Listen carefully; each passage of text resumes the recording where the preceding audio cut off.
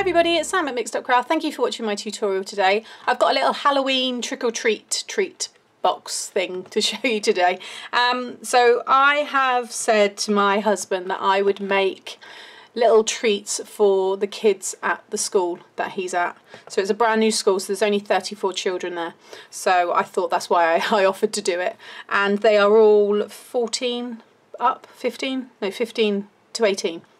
So um, these are they they contain no nuts and they are just nice little sweets. They're actually these which we we I say we as in lots and lots of Chinese people love these. They're called White Rabbit. They're creamy candies and they remind me of a hard version of the milk bottles that we would get the penny sweets. They taste just like that but as a hard form and they're lovely. So they have them in here and they also have some pineapple drops as well. But they are just these little kind of pouches that I've made. Really, really simple to make. And then I fussy cut one of the 12 by 12 sheets from the Fiesta Fever first edition paper pack with all these sugar skulls. So every single one, those are the same there.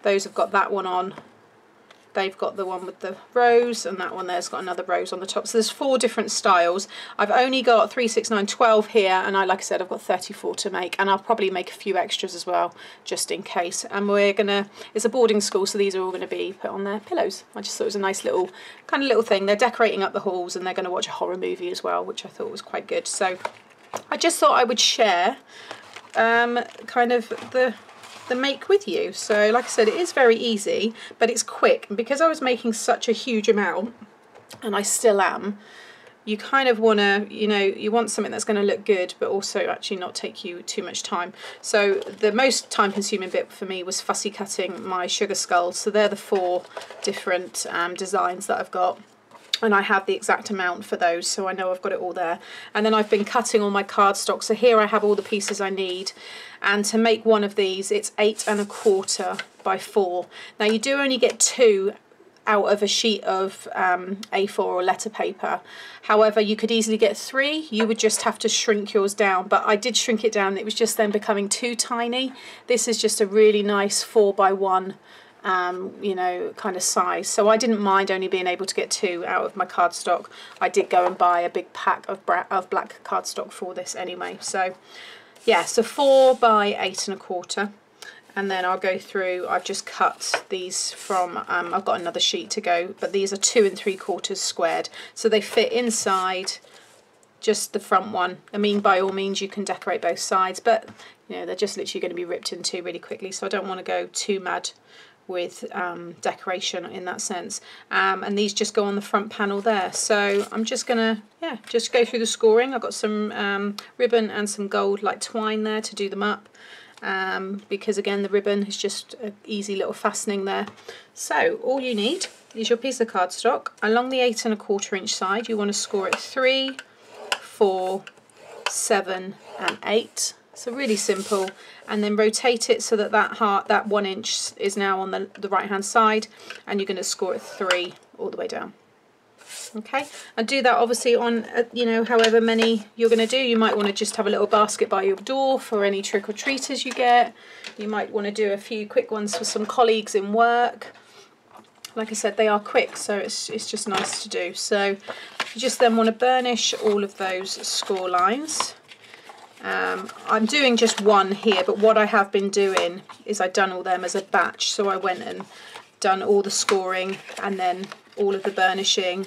Then I went and stuck all the, so rather than do one at a time, um, you know, do all those kind of stages um, and then it just makes that final piece really quick to do.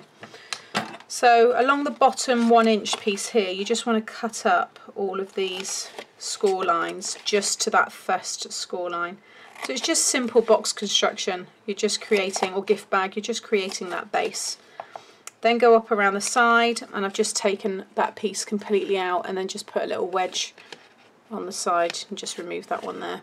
Then with the two little squares that you've got here, these one by one squares, just take a little bit off each edge, just removing that score line really, just so you have, there you can see the wedges that I've taken and again that one there you don't want to take anything off the longer pieces because that's your your you know your main uh, front and back base this is your sides. So if I just lie that down, that's what you should have. This little quarter inch tab here, and then these are your base pieces. There's your sides, um, your two main, front and back, and there's your sides. Okay, so while it's flat, again, because I've been in that kind of batch uh, making, I've then been sticking this down. And you want to stick it on the square that's closest to your quarter inch tab. You can by all means stick this on when you've put it all together but I always find adding the, the decoration like this best to do when it's flat and then you can apply pressure um, to it. So like I said that sits nicely in there giving you a little one eighth of an inch border like so and then I'm just going to add a thin amount you can use red tape double-sided tape you know you don't need to use your best stuff on things like this.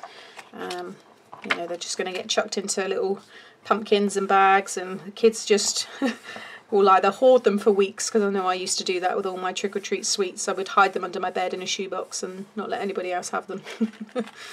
um, but yeah, you don't want to, I don't, well I don't anyway want to use you know too much of my like good red tape and things like that so I'm just using my wet glue. So now I'm just popping in the back first and then pop in my sides just let them kind of just tack down there and then just pop some glue on those and pop down for the back one. I'm going to use my bone folder there just to apply some pressure inside Let's use my ruler there so I can get right into the corners and I just seal down that base. Like so. And then you can score down the sides but again I'm trying to keep this quick. Just pinch in like so. So I just pushed it in and squeezed it down. And it just gives you quite a nice side there anyway.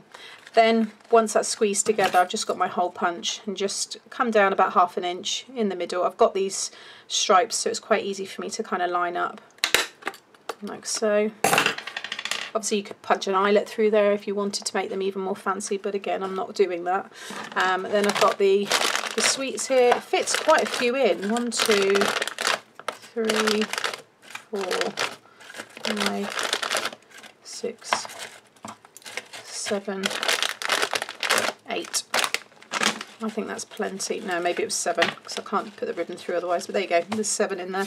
Then just grab my ribbon and I'll use this one here, this sugar skull. And then grab my little, I put these on foam just to give it a little bit of dimension. So just pop three of those on the back.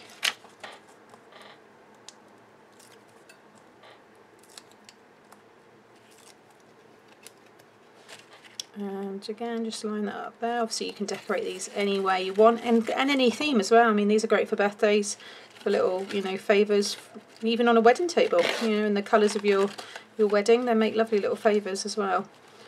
And then I just thread it through bring them up together then grab a little bit of this gold. Cut a little bit off there. Bring it around the back and you're basically knotting this piece to keep the ribbon together I mean you can just tie the ribbon in a bow if you want to but this is just another nice way to keep those tails um, pointed upwards which is quite a nice look. Tie it in a really really tight knot so you keep that ribbon nice and closed and secure like so and then just pull them up again just closing in like so just take off any bits and then I'm just going to just tidy off my edges there and then with my lighter just very carefully seal the edges there and there you have it. Now that's real time so that's how long it took to do one. Um, like I said the fussy cutting, get this cut, get all your card cut, have it all lined up and just go along and um, it's, it is really quick. They took me no time at all to put together. So um, yeah, I think they they look really effective. They're going to look good all together.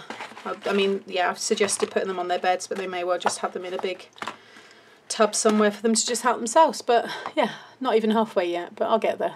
Anyway, hope you've like hope you've hope you've enjoyed this tutorial. Nice and quick one. If you have, please give me a thumbs up and subscribe to my channel to see more. Thanks for watching. Bye.